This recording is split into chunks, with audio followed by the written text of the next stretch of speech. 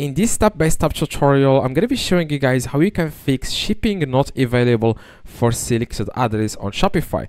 Now, this is a very common problem. A lot of people face this problem on Shopify. I'm going to be showing you exactly how you can fix this. This is going to be a quick video. Like, by the way, most of the time when this error message happens, it typically means that the product in cart are having terrible making a clear path to the shipping rate. Like, this is just one of the reasons uh, why this problem, why you have this problem, okay? Also, like, my, my first, like, tip is, like, to ensure that the customer entered a valid address. You can also see if you are getting the same error with different addresses. Now, first thing you need to do guys to first, like I'm to be showing in this video four solutions on how you can fix this problem. Okay, so what? Sorry, it's like it's it's the video was uh, stopped. Okay, so the first thing you need to do, guys, is you wanna first thing you wanna just check uh, the shipping rates okay? So you want to click on settings at the very bottom left and you want to click on um, like shipping and delivery. Okay so after you are on this page like make sure like if you have like for example general shipping rates if it's it says if it says here no rates for that means your customers will face this problem because you will have to set up shipping rates. Like i said this is just one of the reasons. I'm going to be showing you a couple of other uh, solutions that you can try to solve this problem.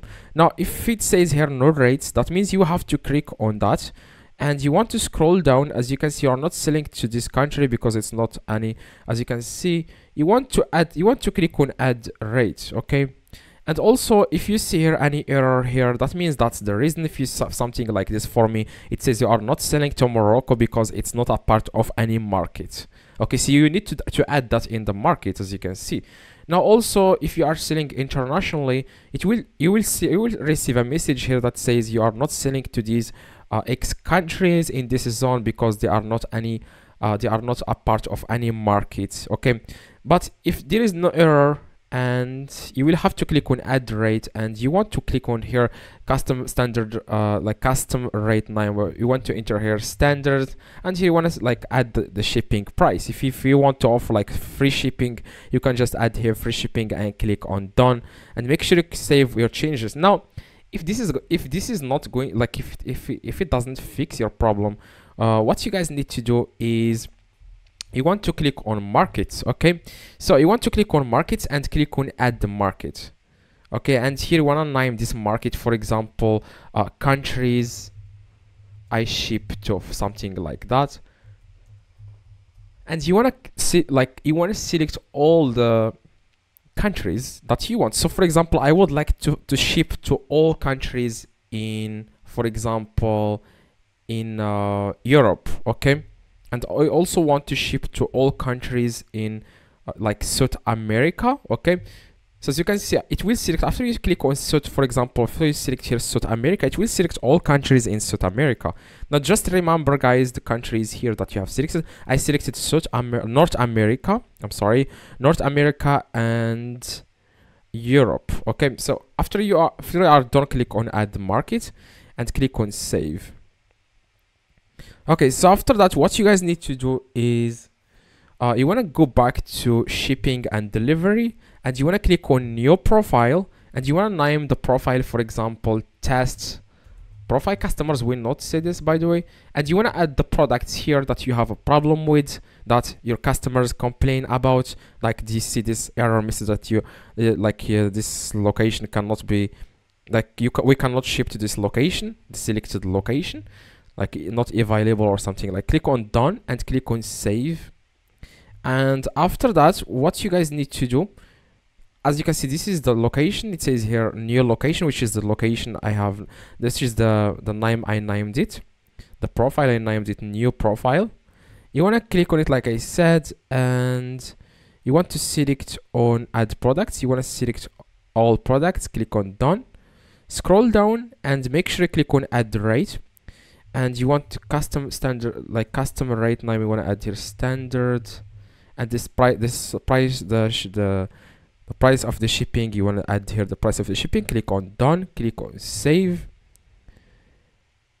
And as you can see guys after you click on that you can also for example click on new profile.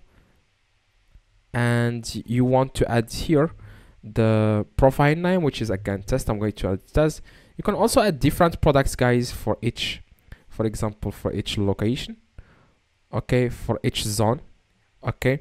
So that's exactly how you can do this okay? So you can add products and if this doesn't work okay if it doesn't work then what you guys need to do next is you want to click on locations okay as you can see if you have like multiple locations here you want to click on each location and make sure you click on this fulfill online orders from this location.